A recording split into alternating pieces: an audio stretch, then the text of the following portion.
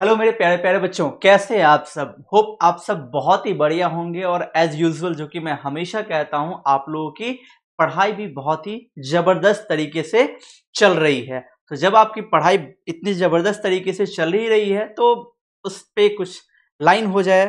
तो आज का जो हमारा लाइन है, वो ये कहता है कि छूले आसमान, ज़मीन की तलाश ना कर। छूले आसमान, ज़मीन की तलाश ना कर। जीले ज़िंदगी जीले ज़िंदगी, खुशी की तलाश ना कर। छूले आसमान, ज़मीन की तलाश ना कर। छू ले आसमान, ज़मीन की तलाश ना कर। जी ले ज़िंदगी, खुशी की तलाश ना कर। तकदीर बदल जाएगी खुद ही मेरे दोस्त। तकदीर बदल जाएगी खुद ही मेरे दोस्त। मुस्कुराना सीख ले, वजह की तलाश ना कर। तो चलिए, आज हम बिना देरी किए हुए हम चलेंगे अपने लेक्चर पे और आज जो है हमारा सेकेंड लेक्चर है हमारे ऐप का आज सेकेंड डे है जिसमें आज हम क्लास करने वाले हैं, ठीक है? जिन बच्चों ने अब तक कोर्स ज्वाइन नहीं किया है, उनको मैं बतला दूँ कि क्लास ट्वेल्थ के लिए हमारा जो बैच है, वो रिलीज़ हो चुका है, प्रारंभ बैच जो कि आपको गूगल प्ले स्टोर पे सेपियंस क्लासेस ऐप मिलेगा, जिसमें ये बैच अवेलेबल है। इन इस कोर्स के बहुत से फीचर्स हैं जैसे कि live classes recorded classes test series with solution board exam के गेस्ट पेपर्स प्रीवियस पेपर्स सारे के सारे चीज़ doubt sessions 24 four into seven support आपको हर चीज़ यहाँ पे अवेलेबल होगा मात्र और मात्र सात सौ निन्यानवे रुपए में। तो जो स्टूडेंट अभी तक ज्वाइन नहीं किए हैं वो फटाफट से ज्वाइन कीजिए और क्लास को एंजॉय से एकदम मस्ती के साथ पढ़ते हैं ठीक है? सो so, कल हमने कुछ इंट्रोडक्शन सेशन लिया हुआ था जिसमें कुछ normal points normal basics points बतलाए हुए थे। जैसे कि इस ऐप में क्या क्या मिलने वाला है हमारी क्लासेस कब कब हो होगी ये सारी चीज़ें मैंने वहाँ पे आप लोगों को डिटेल में बता दी हुई थी। साथ ही साथ हमने कुछ आ, जो हमारा सिलेबस है वो भी हमने देख लिया था और मैंने समझा भी दिया हुआ था कि क्या सिलेबस है हमारा कितना पढ़ना है कौन कौन सा चैप्टर पढ़ना है और किस तरीके से पढ़ना है, उस चैप्टर के अंदर में क्या क्या है, वो कुछ बातें मैंने आप लोगों को बतला दी हुई थी। तो आज हम चलते हैं अपने सिलेबस पे, अपने चैप्टर पे, जो कि है हम, जो कि आज हमारा शुरू होगा रिप्रोडक्शन इन ऑर्गेनिज्म क्लियर याद कीजिए, कल मैंने आप लोगों को बतलाया हुआ था कि जो हमारा फ़र्स्ट यूनिट है राइट जो हमारा फ़र्स्ट यूनिट है, जिसका नाम है रिप्रोडक्शन ठीक है? जो हमारा फ़र्स्ट यूनिट है, उसका नाम है रिप्रोडक्शन जिसके अंदर टोटल चार चैप्टर्स हैं।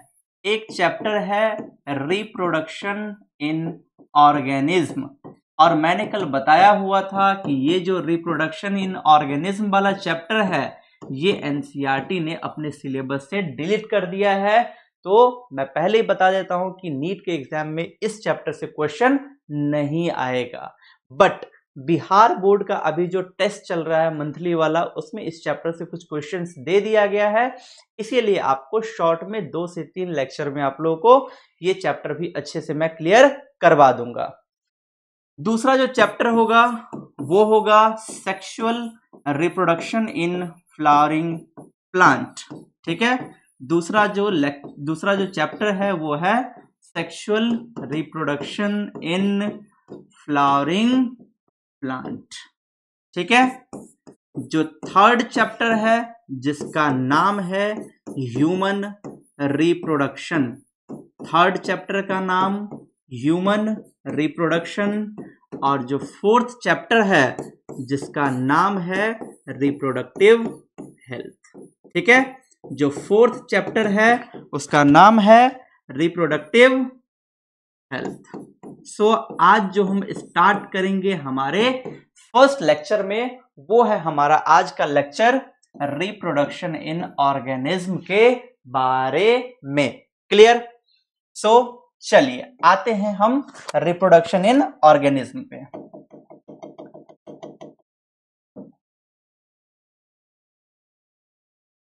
ओके। सो, हमारा जो चैप्टर है आज का, जिस चैप्टर का नाम है रिप्रोडक्शन इन ऑर्गेनिज्म। ठीक है?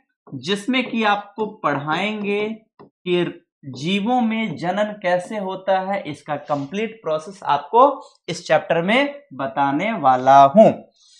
देखिए, रिप्रोडक्शन इन ऑर्गेनिज्म में जो हम पढ़ेंगे रिप्रोडक्शन अब उसी रिप्रोडक्शन से रिलेटेड चारों चैप्टर है तो रिप्रोडक्शन टॉपिक को कंटिन्यू करने से पहले एक छोटा सा टॉपिक आता है, जिसका नाम है लाइफ स्पान ठीक है? जिसका नाम है लाइफ स्पैन अब देखिए, ये लाइफ स्पैन क्या है? हिंदी में इसको बोलते हैं जीवन काल, ठीक है? जीवन काल। तो जीवन काल कहते किसको है? तो कोई बोलेगा कि सर बचपन से लेकर के जब उसकी डेथ हो जाती है, उस पीरियड को जीवन काल कहते हैं। राइट एकदम सही बोलेगा स्टूडेंट। जो उसके बर्थ से लेकर के उसके डेथ तक के पीरियड को जीवन काल स्टूडेंट के अकॉर्डिंग, ठीक है?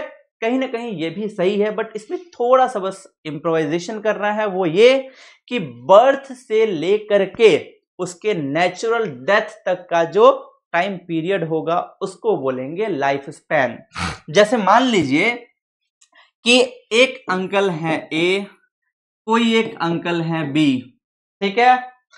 इनका जन्म कब हुआ? तो इनका जन्म हुआ था 1970 में। इनका भी जन्म हुआ था 1970 में। मैं यहाँ पे लिख देता हूँ बर्थ इनका बर्थ दोनों का बर्थ 1970 में हुआ था।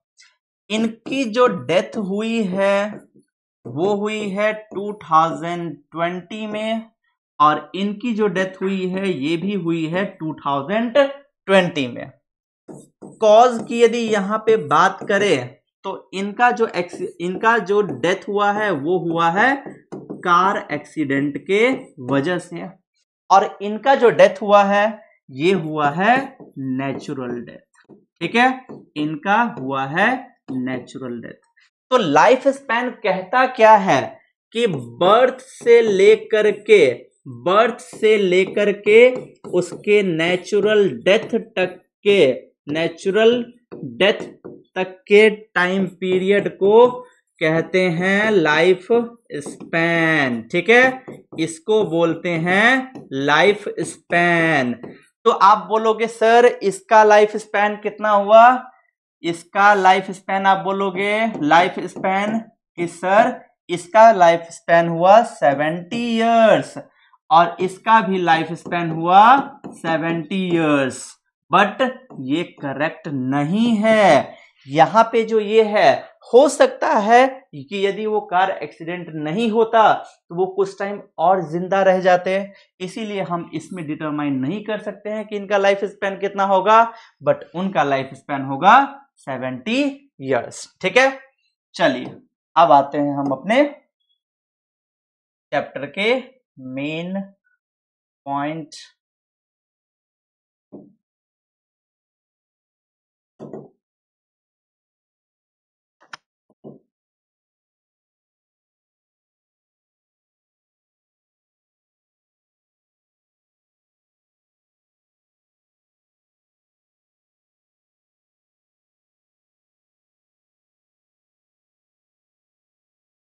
हाँ जी आ जाइए। क्लियर है? क्लियरली आप लोग आपको दिख रहा होगा। चलिए सो so, अब देखिए यहाँ पे जो पॉइंट्स है इन पॉइंट्स के अकॉर्डिंग क्या कहता है ये चैप्टर अब जानते हैं सभी बड़ा एक्साइटेड हो गए कि क्या कह रहा है ये चैप्टर देखिए रिप्रोडक्शन से पहले जो मैं अभी टॉपिक पढ़ा रहा था लाइफ स्पैन पहले आप उसको देख लीजिए।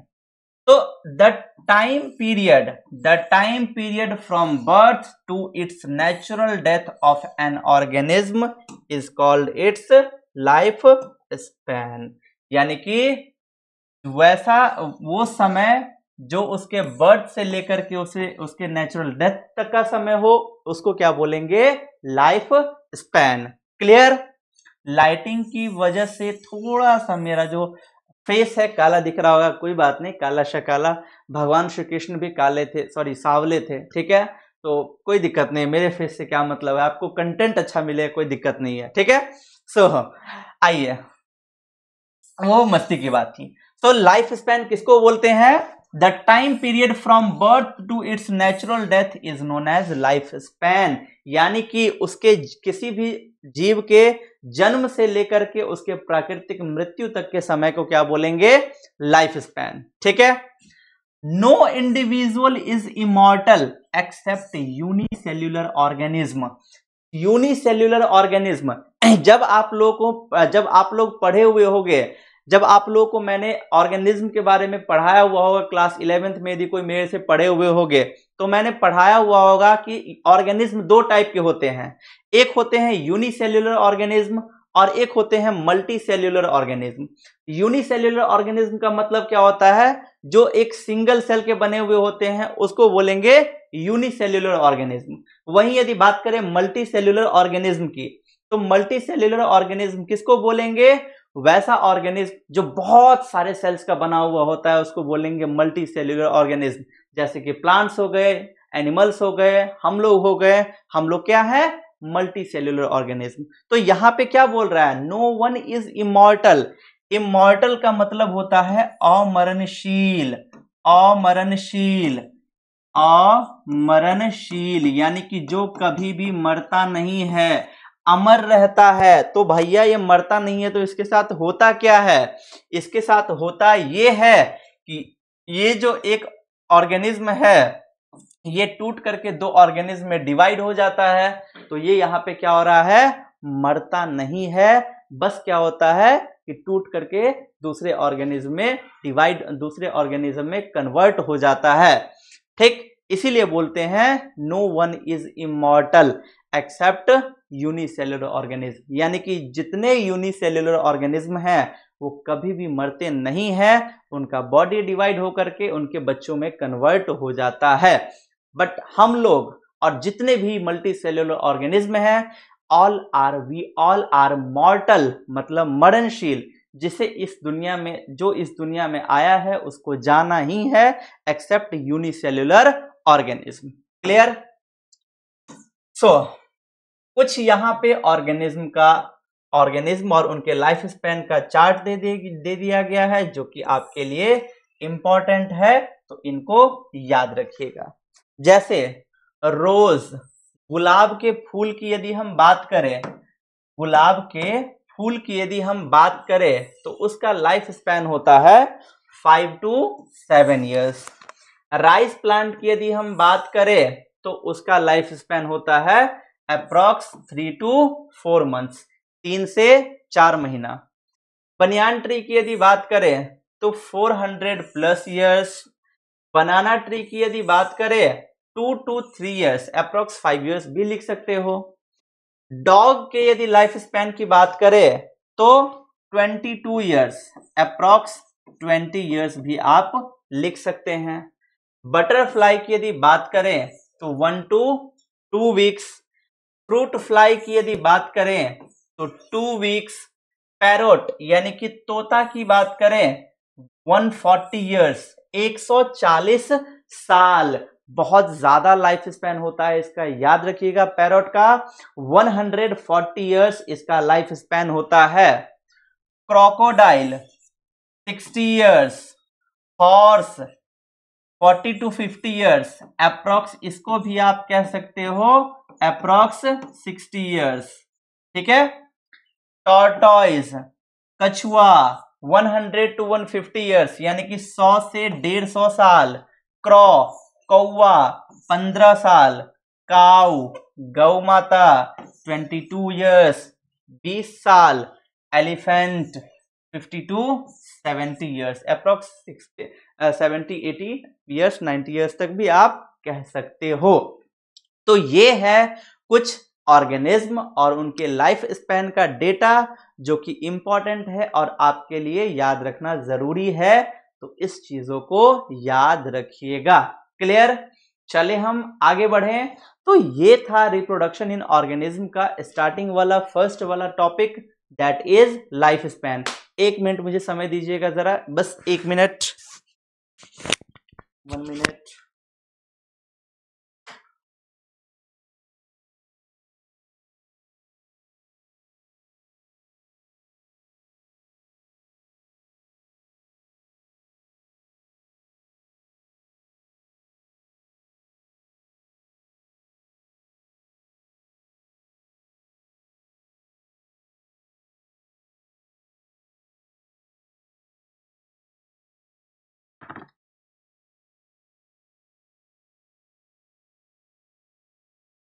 हाँ जी। ऑल सेट हेलो आवाज़ आ रही है? चलिए क्लियर है। ओके सो अब ये देखिए मैंने आपको क्या बतलाया कि ये जो आ, ये जो रिप्रोडक्शन इन ऑर्गेनिज्म चैप्टर है इसमें टोटल तीन टॉपिक है। एक था लाइफ स्पैन दूसरा है ए सेक्शुअल रिप्रोडक्शन ठीक है ए सेक्शुअल रिप्रोडक्शन और तीसरा है सेक्सुअल रिप्रोडक्शन क्लियर तो ये जो लाइफ स्पैन वाला टॉपिक है, बहुत छोटा टॉपिक था, पाँच मिनट का टॉपिक था, बस हो गया। तो ये वाला याद रखिएगा लाइफ स्पैन उसको बोलते हैं, जन्म से लेकर के, यानी कि बर्थ से लेकर उसके नेचुरल डेथ तक के टाइम पीरियड को बोलते हैं लाइफ स्पैन और यहाँ पे कुछ ऑर्गेनिज्म और उनके लाइफ स्पैन को मैंने यहाँ पे बतला दिया सो ये याद रखिएगा।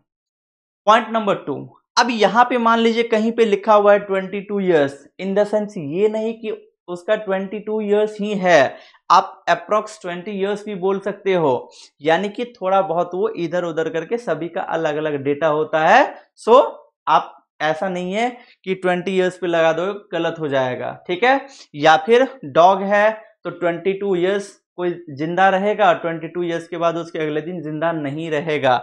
ये डेटा एक अप्रॉक्स डेटा होता है। जैसे ह्यूमन का है ना, कि ह्यूमन का अप्रॉक्स साठ से पैंसठ साल का लाइफ स्पैन होता है। बट कुछ ह्यूमन ऐसे होते हैं जो दस साल, बारह साल, पंद्रह साल, बीस साल, तीस साल, चालीस साल, अस्सी साल, नब्बे साल, कभी भी निकल निकल जाते हैं। ठीक है? सो ये एक अप्रॉक्स डेटा होता है। क्लियर अब देखिए इसमें आपको एक चीज़ कॉमन दिख रहा होगा। सॉरी एक चीज़ बहुत हाईलाइटेड गौर कीजिए। वो ये कि इसमें एक पॉइंट आगे बतला, बताएँगे। वो ये है कि जो लाइफ स्पैन होता है, वो किसी भी ऑर्गेनिज्म के बॉडी के ऊपर डिपेंडेंट नहीं होता है, ठीक है? जित, किसी भी ऑर्गेनिज्म का जो लाइफ स्पैन होता है, वो उसके बॉडी के साइज़ पे डिपेंड नहीं करता है। यदि आपको ट्रस्ट ना हो तो यहीं पे देख लीजिए। एक है यहाँ पे सॉरी एक है यहाँ पे क्रॉ यानी कि कौवा, और एक है यहाँ पे पैरोट यानी कि तोता। बात करें कौवा की और तोते की तो इन दोनों के इन दोनों का बॉडी के साइज़ में कोई खास डिफरेंस नहीं होता है। अप्रोक्स अप्रोक्स सेम ही होता है। बट इनके लाइफ स्पैन की बात करें तो वाइड डिफरेंस है बहुत ज़्यादा। कौवा का है मात्र 15 इयर्स मात्र 15 साल और पैरट का 140 फोर्टी ईयर्स तो ये लाइन भी यहाँ पे लिखा हुआ था, गौर कीजिएगा। ध्यान से, वो ये कि, एक मिनट। अच्छा यहाँ पे नहीं लिखा हुआ है, ठीक है? तो मैं साइड में कहीं पे लिख देता हूँ, आप इसको नोट डाउन कर लीजिए कि life span life span is not depends on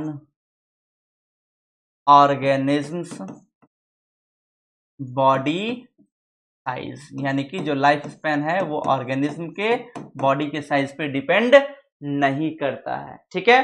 तो वो था हमारा normal point that is life span अब आते हैं हम अपने टॉपिक पे, हम अपने आज के टॉपिक पे, जिस टॉपिक का नाम है रिप्रोडक्शन क्या नाम है? रिप्रोडक्शन तो देखिए रिप्रोडक्शन एक ऐसा प्रोसेस होता है रिप्रोडक्शन एक ऐसा प्रोसेस होता है, या फिर बोलिए, एक ऐसा बायोलॉजिकल प्रोसेस होता है, जिसके द्वारा कोई जीव अपने ही जैसे संतान को जन्म देता है, उसको कहते हैं रिप्रोडक्शन हो सकता है कि किसी में गैमीट का फ्यूजन हो, या फिर हो सकता है किसी में गैमीट का फ्यूजन ना हो, किसी में गैमीट का फ्यूजन, सॉरी, किसी में गैमीट बने ही ना। तो जिस, जिनमें गैमेटिक फ्यूजन होता है, गैमीट बनता है, उस टाइप के रिप्रोडक्शन को बोलते हैं सेक्सुअल रिप्रोडक्शन।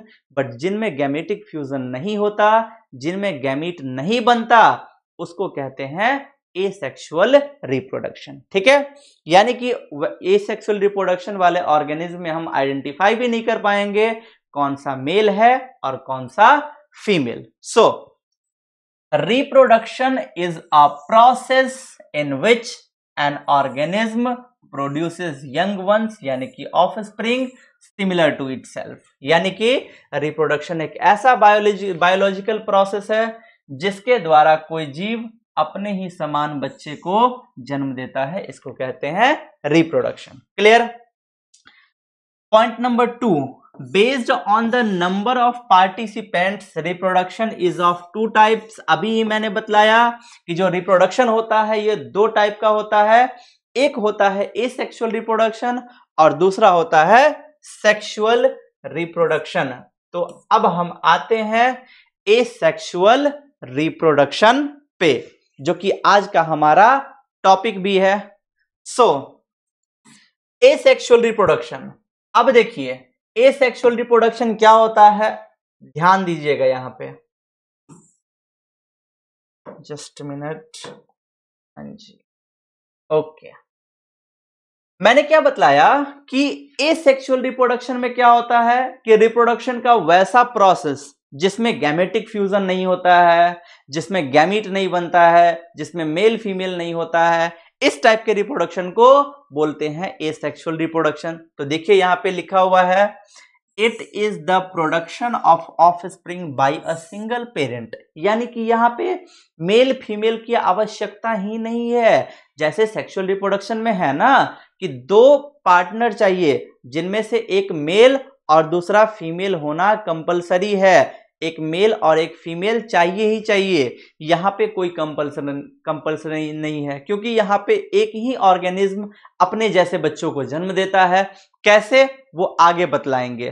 तो वही यहाँ पे बोल रहा है कि इस टाइप के रिप्रोडक्शन में ऑफ़ स्प्रिंग के लिए सिर्फ़ सिंगल पेरेंट चाहिए। क्लियर ये एसेक्सुअल ज़्यादातर यूनिसेल्युलर ऑर्गेनिज्म में देखा जाता है।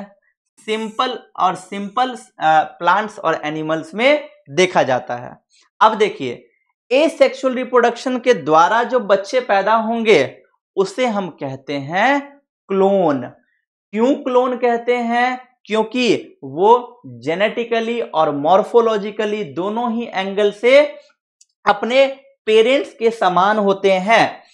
देखिए, वो जेनेटिकली और मॉर्फोलॉजिकली यानी कि जीन के अकॉर्डिंग और मॉर्फोलॉजी यानी कि बाहरी स्ट्रक्चर के अकॉर्डिंग दोनों के अकॉर्डिंग अपने मम्मी पापा के अप, सॉरी अपने पेरेंट्स के समान होते हैं।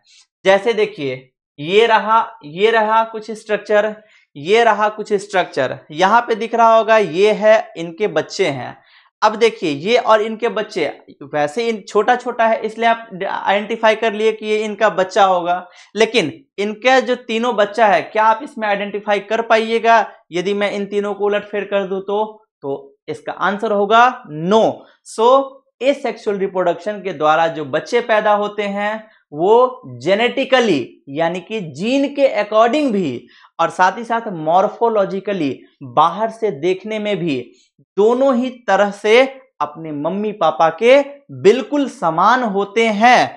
इसीलिए ये सेक्सुअल रिप्रोडक्शन के द्वारा जो बच्चे पैदा होते हैं, उसको कहते हैं clone clear asexual reproduction द्वारा के द्वारा जो बच्चे पैदा होते हैं, उनको बोलते हैं क्लोन अब आइए types of asexual reproduction पे। अब भैया, हमने ये तो जान लिया कि लाइफ स्पैन क्या होता है। हमने ये भी जान लिया कि रिप्रोडक्शन क्या होता है।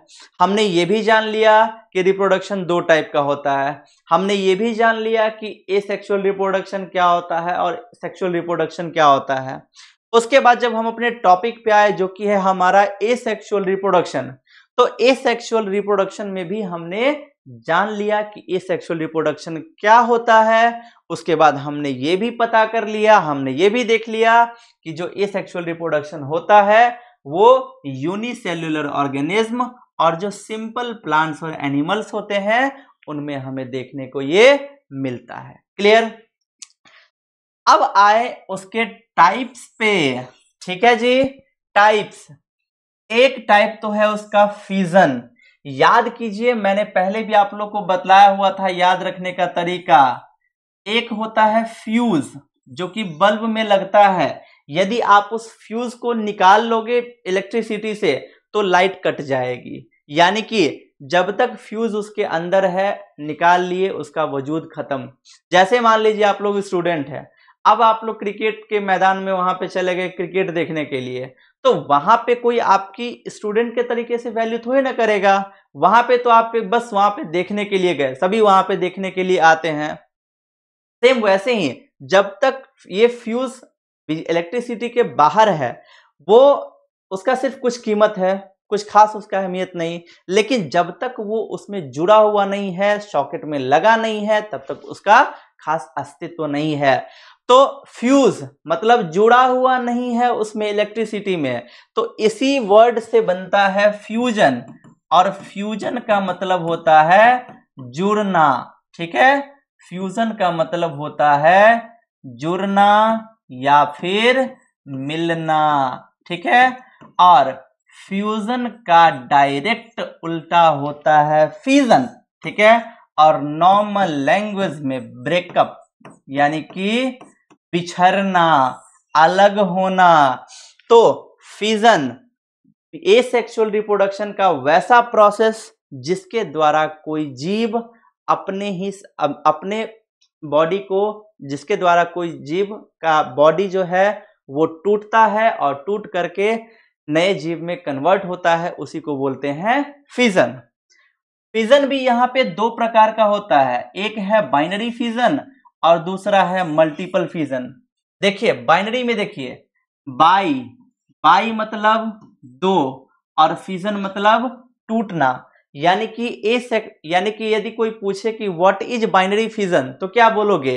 कि ए सेक्सुअल रिप्रोडक्शन का वैसा प्रोसेस जिसके द्वारा कोई जीव दो बराबर भागों में टूटकर, दो बराबर भागों में टूटकर नए ऑर्गेनिज्म को जन्म देता है, नए ऑर्गेनिज्म के रूप में कन्वर्ट होता है, उसको बोलेंगे बाइनरी फिजन तीसरा सॉरी उसका फिजन का दूसरा टाइप मल्टीपल फिजन मल्टीपल शब्द से ही स्पष्ट है। मल्टीपल मतलब ज़्यादा मतलब बहुत सारे, ठीक है? ज़्यादा मतलब बहुत सारे, और फिजन मतलब टूटना, यानी कि ए रिप्रोडक्शन का वैसा प्रोसेस जिसके द्वारा किसी जीव का बॉडी बहुत सारे भागों में टूटता है और बहुत सारे भागों में टूट करके नए ऑर्गेनिज्म के रूप में डेवलप होता है, उसी को बोलते हैं मल्टीपल फिजन उसके बाद है बर्डिंग ठीक है? बर्डिंग बर्डिंग बना है एक वर्ड से जिसका नाम है बड मान लीजिए कि ये प्लांट है, ठीक है? अब प्लांट में क्या है? या फिर मान लीजिए कि कोई भी ऑर्गेनिज्म है, ठीक है? मान लीजिए कि कोई भी ऑर्गेनिज्म है, यहाँ पे मान लीजिए कुछ एक एक्सटर्नल स्ट्रक्चर निकला हुआ है तो जो अलग से कुछ एक्सटर्नल स्ट्रक्चर निकला हुआ होते हैं, होता है, इसी को बोलते हैं बर्ड यानी कि कली, ठीक है? कली, कहाँ की? कश्मीर की, नहीं भाई, कश्मीर की नहीं, ये कहाँ की? बायोलॉजी की। तो बॉडी का कोई एक्सटर्नल पार्ट जो कि अलग से निकला हुआ होता है, उसको बोलते हैं बर्ड, यानी कि कली। तो ए सेक्सुअल रिप्रोडक्शन का वैसा प्रोसेस जिसके द्वारा कोई जीव बर्ड से डेवलप होता है, यानी कि क्या होगा? ये एक जीव है, इस जीव में ये बर्ड पहले डेवलप होगा, उसके बाद यही वाला बर्ड ऐसे एक जीव में कन्वर्ट हो जाएगा तो इस प्रोसेस को बोलेंगे बर्डिंग। पहले कितना था? एक ऑर्गेनिज्म अब कितना हो गया? दो। नंबर बढ़ाना इसी को बोलते हैं एसेक्सुअल रिप्रोडक्शन का प्रोसेस बर्डिंग और एक है वेजिटेटिव प्रोपागेशन तो इस इन सब के बारे में अब क्लियर स्ट्रक्चर देखना है और क्लियरली आगे भी जानना है। सो so, आइए यहाँ पे और देखिए एंजॉय कीजिए क्लास को। ठीक है? बिना डरे बिना किसी चीज़ के बड़े ही मस्ती के साथ। सो so, देखिए यहाँ पे हेलो आवाज़ आ रही है? Okay hello hello hello okay चलिए। सो ए सेक्शुअल रिप्रोडक्शन अभी हम लोग हमारा यही टॉपिक चल रहा है और आज हमारा यही टॉपिक चलेगा भी। In this the parent cell divides यानी कि सेल डिवीज़न इनटू टू और more individual example protista and monerans ठीक है? यानी कि जो फिजन है, ये अभी हम किसके बारे में पढ़ रहे हैं? फिजन के बारे में। कि फिजन क्या है? इसमें क्या होता है? पेरेंट सेल का।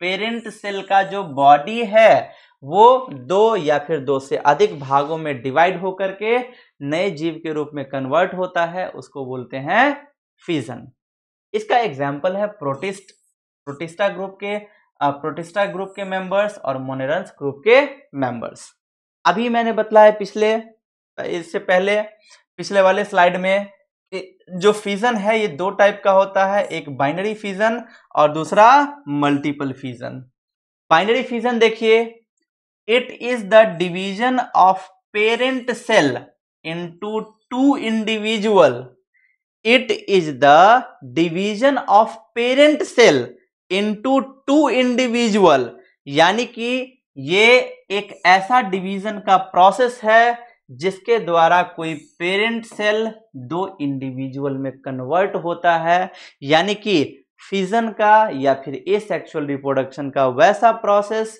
जिसके द्वारा कोई जीव दो बराबर भागों में कन्वर्ट होता है, उसको बोलते हैं बाइनरी फिजन जिसका एग्ज़ाम्पल है अमीबा हो गया पैरामीशियम हो गया। ये सब किसके एग्ज़ाम्पल हैं? बाइनरी फिजन के। तो देखिए, ये रहा अमीबा। अमीबा का ये वाला है, ये है अमीबा। और अमीबा का, अमीबा के पास है पेरेंट मतलब कि ये पेरेंट सेल वाला है। उसके अंदर में न्यूक्लियस होता है। उसके बाद थोड़ा सा चौड़ा होना स्टार्ट होता है। देख रहा है? ये जो सेल है, पेरेंट सेल, ये चौड़ा होना स्टार्ट होता है। उसके बाद ऐसा लग रहा है कि न्यूक्लियस डिवाइड हो रहा है। अब देखिए, अगले केस में इसमें न्यूक्लियस, दोनों न्यूक्लियस अलग अलग हो गया, लेकिन सेल का बॉडी अभी अटैच है। लास्ट वाले में क्या होगा कि जो दोनों के दोनों ऑर्गेनिज्म है, दोनों के दोनों सेल हैं, वो डिवाइड हो जाएँगे। यानी कि थे पहले कितना अमीबा? एक, अब कितने हो गए? दो। क्या इसमें मेल और फीमेल की ज़रूरत पड़ी? तो नो। क्या इसमें कोई गैमिट बना? नो। और यदि गैमिट नहीं बना तो ज़ाहिर सी बात है गैमिटिक फ्यूजन भी नहीं होगा। तो ये रहा बाइनरी फ्यूजन सेम पैरामीशियम में भी वही हाल है। एक पैरामीशियम था। इसका न्यूक्लियस देखिए, इस वाले में लग रहा है कि डिवाइड हो रहा है। इस वाले में डिवाइड हो गया, इस वाले में अलग हो गया। तो एक पैरामीशियम से बन गया दो पैरामीशियम तो ये भी क्या होंगे? Binary fission multiple fission it is the division of parent cell into many individual यानी कि ए सेक्सुअल रिप्रोडक्शन का या फिर फिजन का वैसा प्रोसेस जिसमें कोई एक जीव बहुत से ऑर्गेनिज्म में, बहुत से जीवों में कन्वर्ट हो जाता है और कन्वर्ट हो करके नए जीव के रूप में कन्वर्ट होता है, उसको बोलेंगे मल्टीपल फिजन और मल्टीपल फिजन का एग्ज़ाम्पल है प्लाज्मोडियम हो गया अमीबा हो गया ये किसके एग्ज़ाम्पल हो गए? मल्टीपल फिजन के। तो देखिए यहाँ पे मल्टीपल फिजन इन प्लाज्मोडियम एक प्लाज्मोडियम है और एक प्लाज्मोडियम से कितना सारा प्लाज्मोडियम बन गया? That is multiple fission clear चलिए। नेक्स्ट अब देखिए। कुछ स्पेशल फेनोमेनन होता है। अब उसके बारे में देखिए, अभी मैंने क्या बतलाया कि फिजन फिजन में मैंने क्या बतलाया? एक होता है बाइनरी फिजन और दूसरा होता है मल्टीपल फिजन फिजन मैंने क्या बतलाया? एक बाइनरी फिजन और दूसरा मैंने बतलाया multiple fission clear binary fission और मल्टीपल फिजन अब जो बाइनरी फिजन मैंने बतलाया मैंने बतलाया कि बाइनरी फिजन में क्या होता है? कोई एक जीव दो भागों में डिवाइड होता है, दो पार्ट में डिवाइड होता है और दो पार्ट में डिवाइड हो करके दो नए जीव के रूप में कन्वर्ट होता है। उसको क्या बोलेंगे? बाइनरी फिजन और उसके बाद मैंने बतलाया मल्टीपल फिजन कि मल्टीपल फिजन में क्या होगा? कि कोई जीव बहुत सारे भागों में डिवाइड हो जाएगा और डिवाइड होकर उसके जितने भाग हैं, जितने पार्ट हैं, वो सब नए जीव के रूप में कन्वर्ट हो जाएँगे। उसको बोलेंगे मल्टीपल फिजन अमीबा के अंदर दोनों ही चीज़ें होती है बाइनरी फिजन भी होता है और मल्टीपल फिजन भी होता है। यदि नॉर्मल कंडीशन की बात करेंगे फेवरेबल कंडीशन की बात करेंगे तो अमीबा में होता है binary fission but abnormal abnormal condition में अनफेवरेबल कंडीशन में अमीबा में क्या होता है? मल्टीपल फिजन तो देखिए यहाँ पे कैसे। Under favourable condition sorry under unfavourable condition amoeba withdraws its pseudopodia ठीक है? अमीबा के अमीबा के साइड साइड में जो कांटे के जैसे, जो अलग अलग इरेगुलर स्ट्रक्चर निकला हुआ होता है, जैसे कि ये रहा ये रहा ये रहा ये रहा ये रहा ये रहा ये रहा ये रहा ये रहा, ये सब क्या है? जो अमीबा के साइड साइड में जो इरेगुलर स्ट्रक्चर होता है, इन्हीं को बोलते हैं स्यूडोपोडिया तो जैसे गर्मी होती है, अभी गर्मी का मौसम है तो गर्मी में क्या होता है कि जब गर्मी हो रही है तो एकदम बॉडी से पसीना टपकता है ना सेम वैसे ही इनमें भी क्या होता है कि जब अन इनका अनफेवरेबल कंडीशन होता है, जब इनका अनफेवरेबल कंडीशन होता है, तब अमीबा अपने स्यूडोपोडिया को अपने शरीर से बाहर कर देते हैं। और बाहर करने के बाद इनका यही सारा जो सीडोपोडिया है, वो क्या करता है? अमीबा के बाहर तीन लेयर वाला, अमीबा के बाहर तीन लेयर वाला एक हार्ड कवरिंग बना देता है, जिसका नाम होता है सिस्ट और इसी फेनोमेनन को बोलते हैं इंसिस्टेशन क्लियर मैं एक बार अगेन रिपीट कर देता हूँ, मैं एक बार अगेन समझा देता हूँ, जिससे आप लोगों को कोई प्रॉब्लम ना हो. देखिए, जब अमीबा का फेवरेबल कंडीशन होगा, जब अच्छा समय होगा अमीबा का, तब अमीबा क्या होगा कि अमीबा में बाइनरी फ्यूजन होगा, लेकिन जब उसका फेवरेबल कंडीशन नहीं होगा, जब उसका अच्छा समय नहीं होगा, तब अमीबा में क्या होगा? अनफेवरेबल कंडीशन यानी कि जब उसका अनफेवरेबल कंडीशन रहेगा, तब अमीबा क्या करेगा? अपने स्यूडोपोडिया को विड्रॉ कर लेगा, अपने शरीर से निकाल देगा और निकाल करके इसका जो स्यूडोपोडिया है, वो तीन लेयर वाला एक हार्ड कवरिंग बना लेता है, जिसका नाम है सिस्ट और इसी प्रोसेस को बोलते हैं इंसिस्टेशन क्लियर अब जब अब जब उसका फेवरेबल कंडीशन वापस आएगा तो देखिए वेन फेवरेबल कंडीशन रिटर्न्स या फिर अंडर फेवरेबल कंडीशन जब उसका फेवरेबल कंडीशन वापस आएगा, अब अब आप बोलोगे कि सर उसका फेवरेबल कंडीशन वापस आ गया तो वो तो बाइनरी फ्यूजन होगा। ना बाबा, ना। बाइनरी फ्यूजन यदि होगा तो उसमें क्या? सीडोपोडिया तो होता बट यहाँ पे तो उसने अपने सीडोपोडिया को शरीर से बाहर कर दिया है। शरीर से बाहर कर दिया है, और तीन लेयर वाला एक हार्ड कवरिंग भी बना लिया है, जिसका नाम है सिस्ट राइट सो अब सिस्ट वाले केस में अब क्या होगा? जब उसका फेवरेबल कंडीशन वापस आएगा तो वो जो इनसिस्टेड अमीबा था उसमें क्या होगा? मल्टीपल फ्यूजन होगा और वो क्या करेगा? बहुत सारे माइन्यूट माइन्यूट मतलब छोटे छोटे बहुत सारे छोटे छोटे अमीबा को अपने मतलब कि मल्टीपल फ्यूजन होके बहुत से छोटे छोटे अमीबा के रूप में कन्वर्ट हो जाएगा। जिस अमीबा को बोलते हैं सीडोपोडियोस्पोर उसी माइ, वही माइन्यूट अमीबा अब देखिए ये क्या हुआ? ये वाला दिख रहा है आपको? अब इसमें ये क्या था? ये जो एक था, एक से क्या, एक से क्या होगा? बहुत सारे छोटे छोटे अमीबा बने। अब इसके बाहर जो सिस्ट बन गया था, इसके बाहर जो इनसिस्ट, ये सिस्ट, ये कवरिंग लेयर जो बन जाता है अमीबा के बाहर, अब वो सिस्ट में क्या होगा? बर्स्ट, यानी कि वो सिस्ट बॉल, वॉल अब फटेगा। और फट करके उसके अंदर में जो छोटे छोटे स्पोर थे, जो माइन्यूट अमीबा था, जिसको हम सीडो सीडोपोडियो स्पोर भी कह रहे थे तो वो क्या होंगे अब? अब मान लीजिए जैसे बर्थडे होता है ना, बर्थडे में क्या, बर्थडे में क्या करता है? बहुत से, बहुत लोग बर्थडे में क्या करेंगे? बैलून के अंदर बहुत सारा चॉकलेट डाल देंगे, जब जैसे अगरबत्ती सटाए, बस फट करके पूरा चॉकलेट बाहर।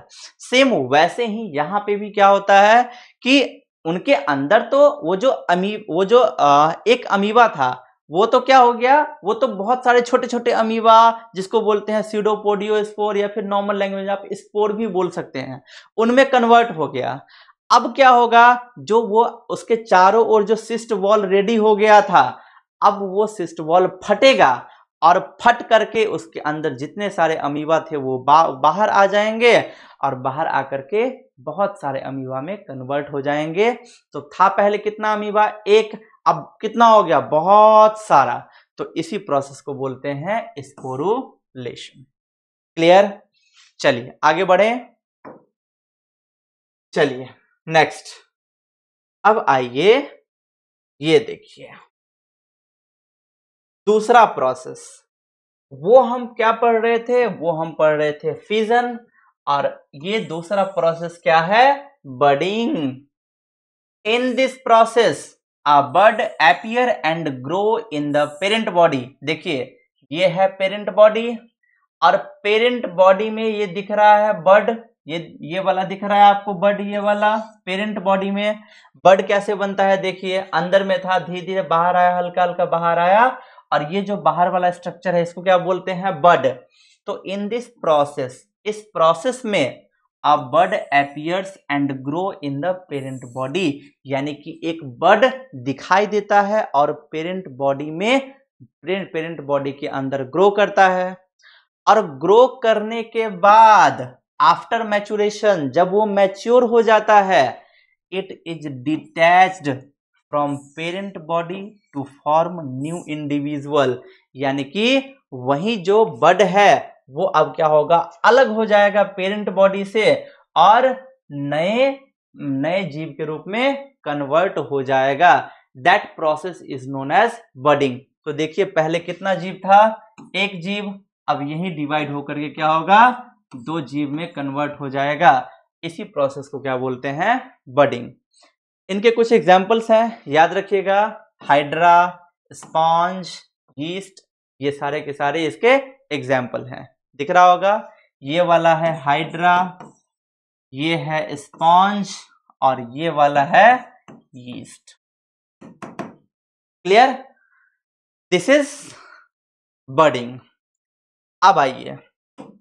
थर्ड सॉरी हाँ थर्ड वाला जो प्रोसेस था दैट इज़ फ्रेगमेंटेशन क्लियर तीसरा जो प्रोसेस था, वो था फ्रेगमेंटेशन देखिए एक हमने पढ़ा क्या? बाइनरी फिजन अभी हम पढ़ रहे इस एक्चुअली प्रोडक्शन का टाइप एक हमने पढ़ा फिजन के अंदर बाइनरी फिजन जिसके अंदर एक जीव, दो जीवों में कन्वर्ट होकर, दो पार्ट में कन्वर्ट होकर के, दो नए जीव के रूप में कन्वर्ट हो जाता है, उसको बोलेंगे बाइनरी फिजन मल्टीपल फिजन में क्या होता है कि कोई एक जीव बहुत सारे पार्ट में डिवाइड होता है और उसका बहुत सारा पार्ट क्या होता है? वो नए जीवों में कन्वर्ट होता है. इस प्रोसेस को बोलेंगे मल्टीपल फिजन दूसरा पढ़े बडिंग, जिसमें बॉडी के अंदर में एक एक्सटर्नल स्ट्रक्चर ग्रो करता है, जिसको बोलते हैं बड, और वही बड फिर बाद में पेरेंट बॉडी से अलग होकर के नया जीव बना लेता है उसको बोलते हैं बडिंग। फ्रेगमेंटेशन, नाम से ही स्पष्ट है। फ्रेगमेंट मतलब टुकड़ा। फ्रेगमेंट मतलब क्या होता है भाई? टुकड़ा। ठीक? फ्रेगमेंट मतलब टुकड़ा मतलब पीस। तो इस टाइप के प्रोसेस में क्या होता है? जैसे मैंने बतलाया कि बाइनरी फिजन तो बाइनरी फिजन में दो बराबर भागों में डिवाइड होगा, मल्टीपल फिजन में बहुत सारे बराबर भागों में डिवाइड होगा, लेकिन फ्रेगमेंटेशन में क्या होगा? जैसे मान लीजिए कोई एक जीव है, ठीक है? अब यहाँ से टूट जाएगा। अब यहाँ पे क्या हो रहा है? टुकड़ा। टुकड़ा का मतलब क्या होता है? कहीं से भी टूटा हुआ पार्ट। अब यहाँ से कहीं से भी पार्ट टूट जाएगा और ये वाला जीव जो है, वो एक पहले के जैसे जीव बना लेगा और ये वाला छोटा टुकड़ा भी क्या करेगा? बड़े जीव के रूप में कन्वर्ट हो जाएगा। इसी प्रोसेस को बोलते हैं फ्रेगमेंटेशन तो देखिए इन दिस लिखा हुआ है यहाँ पे कि in this process body breaks into distinct pieces, जिसको बोलते हैं फ्रेगमेंट। यानी कि इस प्रोसेस में जो बॉडी है, वो बहुत सारे पीसेस में, बहुत सारे टुकड़ों में क्या होगा? डिवाइड होगा और डिवाइड होकर के क्या होगा? उसका जो ईच फ्रेगमेंट, जितना उसका फ्रेगमेंट होगा, वो एक नए एडल्ट ऑर्गेनिज्म के रूप में कन्वर्ट होगा। उसी को बोलते हैं फ्रेगमेंटेशन। और फ्रेगमेंटेशन हाइड्रा में भी होता है। जैसे मैंने बतलाया ना कि अमीबा में बाइनरी फिजन भी होता है मल्टीपल फिजन भी होता है, वैसे ही हाइड्रा में बडिंग भी होता है और फ्रेगमेंटेशन भी होता है। दिख रहा होगा यहाँ पे आपको, जैसे मान ले हाइड्रा की हम बात कर रहे हैं तो देखिए, इसका बॉडी का कोई सा पार्ट डिवाइड होकर के दो पार्ट में कन्वर्ट हो रहा है। यदि हम प्लान की बात करें, इसमें भी इसका छोटा छोटा पार्ट होकर के नए जीवों में कन्वर्ट हो रहा है, इसको बोलते हैं फ्रेगमेंटेशन क्लियर क्लियर है यहाँ तक बात? चलिए। Next vegetative propagation vegetative propagation important thing of sorry from reproduction in organism vegetative reproduction होता क्या है? इसमें क्या होता है? It is the production of offspring from vegetative propagules in plants यानी कि क्या होता है कि जो आ, क्या रिप्रोडक्टिव ऑर्गन के अलावा जब मान लीजिए किसी जीवो किसी नए जीव की उत्पत्ति रिप्रोडक्टिव ऑर्गन के अलावा दूसरे ऑर्गन से होता है तब उसको बोलते हैं वेजिटेटिव प्रोपागेशन यानी कि जब उसका ग्रोथ क्या होगा? स्टेम से होगा रूट से होगा लीव से होगा, तब उसको बोलेंगे वेजिटेटिव प्रोपागेशन और वेजिटेटिव प्रोपाग्यूल्स क्या है? ये यूनिट है वेजिटेटिव प्रोपागेशन का. ठीक है? वेजिटेटिव प्रोपाग्यूल्स क्या है? ये यूनिट है वेजिटेटिव प्रोपागेशन का.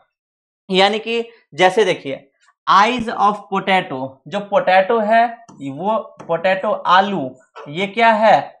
आलू की आँखें ये मत समझना आलू का चालू। नहीं तो फिर से वही वाला मतलब लाइन आ जाएगा आलू का चालू बेटा कहाँ गया था? बैंगन की टोकरी में रो रहा था। ठीक है? सो so, क्या है ये? पोटैटो का आई है। अब वो क्या है? पोटैटो का आई है। तो जो आलू का डेवलपमेंट जो होता है वो किससे होता है? वो इसके आई से होता है। आँख से होता है। आँख तेरी छलकी तो दिल ये मेरा रोता है।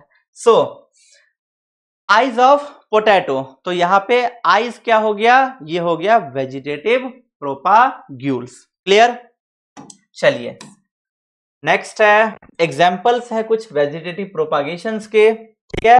ये याद रखिएगा, ये इंपॉर्टेंट है और ये चीज़ें आपको काम देगी। और एग्ज़ाम में इसी से, इसी टाइप से क्वेश्चन पूछा जाता है। उनके एग्जाम्पल्स जैसे कि बर्ड्स या फिर eyes of the potato potato में क्या होता है? आइज़ यहाँ पे भी लिखा हुआ है eyes of potato rhizome of ginger bulbil of agave leaf bud of bryophyllum और offset of water hyacinth water hyacinth के बारे में लास्ट में बतलाएँगे, उसके बारे में कुछ चीज़ें। वाटर हाइसिंथ को ही हिंदी में बोलते हैं जलकुंभी। ठीक है? तो इसके बारे में बताएँगे लास्ट में। बड़ा इंटरेस्टिंग चीज़ है ये। वही चीज़ सेम चीज़ यहाँ पे भी लिख दिया है rhizome of banana and ginger buds and rhizomes arises from node of modified stem यानी कि जो बर्ड और राइजोम्स होता है, वो मॉडिफाइड स्टेम से अराइज होता है। The nodes come in contact with damp soil और water produce root and new plant node किसको बोलते हैं? जैसे मान लीजिए कि ये प्लांट है। अब प्लांट में मैंने ये बोला, ये है क्या? बड लेकिन जहाँ से दूसरा स्टेम निकलता है तो ये वाला जो पॉइंट है, इसको बोलते हैं नोड ठीक है? तो ये जो बड और राइजोम होते हैं, ये स्टेम के नोड से अब इसी नोड पे तो देखोगे ना कि यहाँ पे बड निकल रहा है तो बड कहाँ पे निकलता है? स्टेम के नोड से निकलता है, ठीक है? और फिर बाद में चल करके ये नोड क्या करते हैं? ज़मीन के अंदर जो होते हैं, ये सॉइल और वाटर के कांटेक्ट में आकर के नए नए रूट जड़ों को और प्लांट्स को डेवलप करते हैं। क्लियर उसके बाद सेम वही चीज़ buds of bryophyllum bulbil of agave offset of water hyacinth ठीक है? ये सब याद रखिएगा। ये इंपॉर्टेंट है कहीं ना कहीं। नेक्स्ट कुछ और भी एसेक्सुअल रिप्रोडक्टिव स्ट्रक्चर्स हैं, जिनको बोलते हैं जू जिनको बोलते हैं जू स्पोर्स कोनिडिया गैम्यूल जैसे कि यदि हम बात करें जू स्पोर्स की तो जू स्पोर क्या होता है? अभी बतला देते हैं। जू स्पोर्स जू स्पोर्स अलग टाइप के स्ट्रक्चर्स होते हैं माइक्रोस्कोपिक मोटाइल स्ट्रक्चर होते हैं, जो कि एल्गी और प्रोटिस्ट के पास होता है। तो जू स्पोर्ट्स इन क्लेमाइडोमोनास। याद रखिएगा ए सेक्सुअल वो वाला क्या था? वेजिटेटिव रिप्रोडक्टिव स्ट्रक्चर याद रखिएगा, बहुत स्टूडेंट इसमें कंफ्यूज होते हैं। बहुत स्टूडेंट को पूछा जाता है कि ए सेक्सुअल रिप्रोडक्टिव स्ट्रक्चर लिखिए तो दो तीन तो वो उधर वाला लिख देते हैं। बुलबिल ऑफ़ एगे हो गया आइज़ ऑफ़ पोटैटो हो गया offset of water hyacinth but वो क्या है? वो है वेजिटेटिव रिप्रोडक्टिव स्ट्रक्चर्स और जिसको शॉर्ट में हम बोल सकते हैं कि वेजिटेटिव रिप्रोडक्शन भी बोल सकते हैं वेजिटेटिव प्रोपागेशन बोल सकते हैं। कहीं ना कहीं कह सकते हैं कि वो थोड़ा बहुत एसेक्सुअल रिप्रोडक्शन से मिलता जुलता है, क्योंकि उनमें भी गैमिट का ना फॉर्मेशन होता है और ना ही फ्यूजन होता है, ठीक है? बट वो एक स्पेशल टाइप का रिप्रोडक्शन है clear conidia in penis penicillium gemmule in sponge ये देखिए। Zoospores of Chlamydomonas conidia of penicillium और जेम्यूल इन स्पॉन्ज उसके बाद यहाँ पे जो कह रहा है लाइन वो लाइन ये कह रहा है कि asexual reproduction is a common method in simple organism like algae and fungi during adverse condition they shift to sexual method यानी कि ये सेक्सुअल रिप्रोडक्शन जो है वो बहुत कॉमन है। सिंपल ऑर्गेनिज्म में ये पाया जाता है। जैसे कि एल्गी फंगी इन सब में ये पाया जाता है। यदि बहुत ज़्यादा एडवर्ड एडवर्स कंडीशन होगी तो उस टाइम में उनमें सेक्सुअल रिप्रोडक्शन होता है। बट जनरली जो है, वो ए सेक्सुअल रिप्रोडक्शन ही होता है। और ये बहुत कॉमन है, जो कि हमें सिंपल ऑर्गेनिज्म में दिखाई देता है। Higher plants reproduces a asexually ठीक है? एंड सेक्सुअली जो बड़े बड़े पेड़ पौधे होते हैं वो एसेक्सुअली और सेक्सुअली दोनों ही तरीके से वो रिप्रोड्यूस करते हैं। बट जनरली की यदि हम बात करें या फिर 95 परसेंट नाइन्टी परसेंट की यदि हम बात करें तो प्लांट्स में सेक्सुअल रिप्रोडक्शन ही होता है। क्लियर सो so, ये था आज का आपका ए सेक्सुअल रिप्रोडक्शन होप आप लोगों को वीडियो पसंद आया होगा, आप लोगों को लेक्चर पसंद आया होगा, मज़ा भी आया होगा, ऐसे ही हम पढ़ेंगे।